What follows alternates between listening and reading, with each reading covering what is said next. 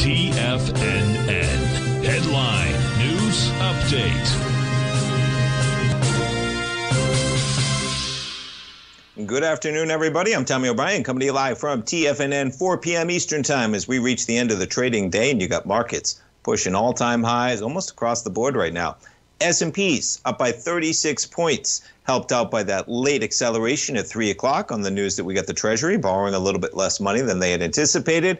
What do we have? We have yields dropping. The market loves a weaker yield. We have markets accelerating. S&Ps all-time highs. You're up by 38 points right now at 49.55 in the S&Ps. That's about 8 tenths percent in the positive.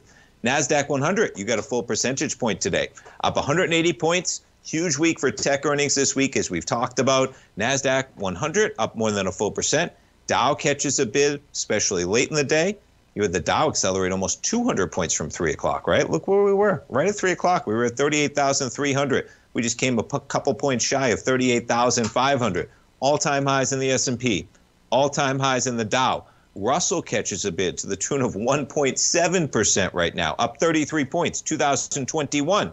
Bitcoin bouncing off last week's lows, 43,450, up a 1,000 bucks. Crude down a dollar at 77 bucks on the dot right now. Gold is jumping around because you got some big action in yields. You got some big action in the dollar index, right? We jump over to yields.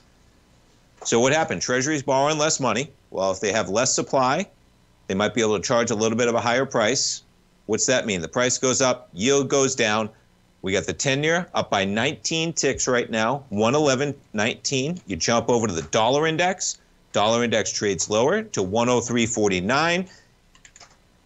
You got a weaker dollar. That gives gold a little bit of a pop from 3 o'clock up to 2050. We were all the way at 2056 earlier today for that gold contract. Right now, you jump over to the VIX as this market just plows higher. VIX. VIX still at 1362 with a little bit of an elevated level when we come into a pretty big week of potential volatility. So, what do we have going on? Tuesday, you got earnings, you got AMD, you have Google, you have Microsoft out on Tuesday. We got Fed Day on Wednesday, of course, 2 p.m. Eastern Time, the announcement. We just went over uh, the expectations in terms of where the rate cuts are coming down the line. And then on Thursday, Apple, Amazon, among many others. Meta in there and Thursday as well. Meta all time highs just across the board, man. Check out Meta. We'll close it out with Meta.